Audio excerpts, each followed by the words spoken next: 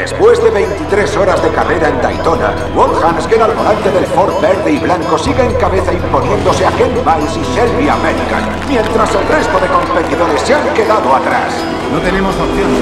Miles no puede hacer nada quedando tan poca carrera. El motor está caliente, hay que mantenerlo por debajo de 6.000.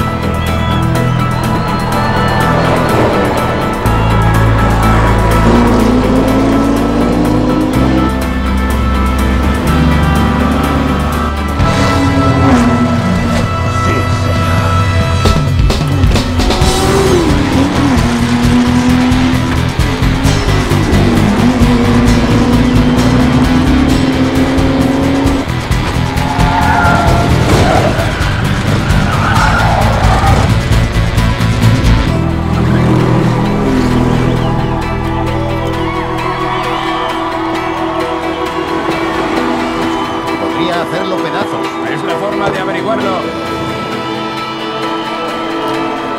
Había que mantenerlo por debajo de 6.000. Cállate, Héctor.